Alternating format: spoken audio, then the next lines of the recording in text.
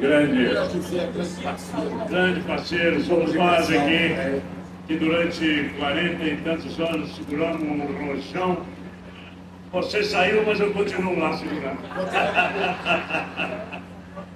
É, eu resolvi. Eu sou um ator e, como cidadão, também sou um homem político. Eu escolhi para dizer aqui para vocês um poema que fala de poesia e de alimentação. Um poema de uma poeta portuguesa, já falecida, comunista, chamada Natália Corrêa. Ela fez esse poema e ela queria dizer esse poema para os juízes, mas os advogados dela acharam melhor ela não dizer, porque achavam que, sob o fascismo salazarista, se ela dissesse isso para os juízes, ela jamais sairia da cadeia. Mas ela fez o poema e o poema se chama A Defesa do Poeta. Senhores jurados, sou um poeta, um multipétalo uivo, um defeito, e ando com uma camisa de vento ao contrário do esqueleto.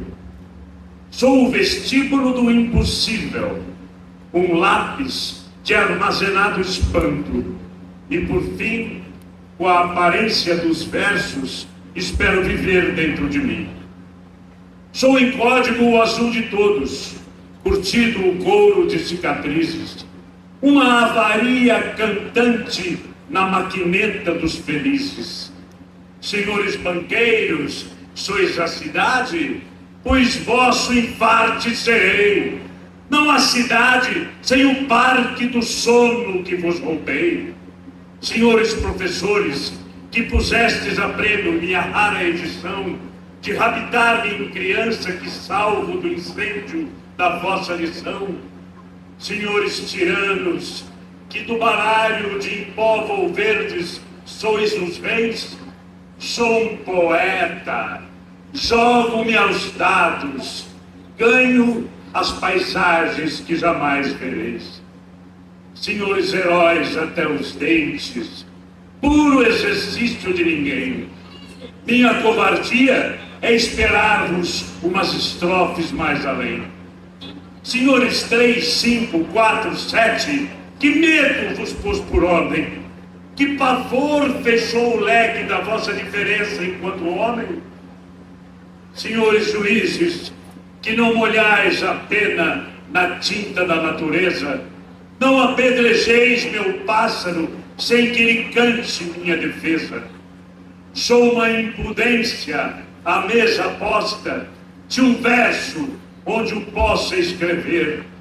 Oh, subalimentados do sonho, a poesia é para comer.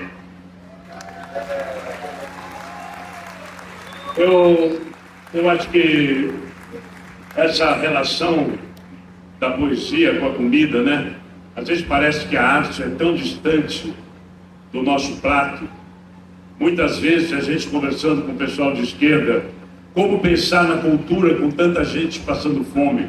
Isso sempre foi uma discussão que permeou né, a nossa classe média, os intelectuais de esquerda, mas nós achamos que a poesia também é para se comer.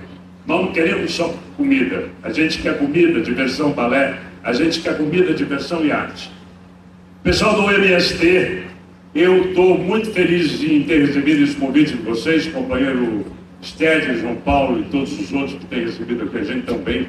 Como o companheiro aqui já disse, não era mais para existir MST.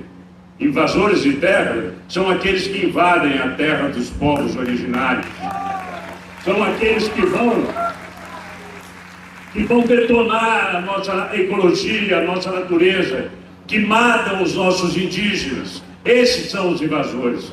Nós, o que nós, o que o MST faz é ocupar terra improdutiva.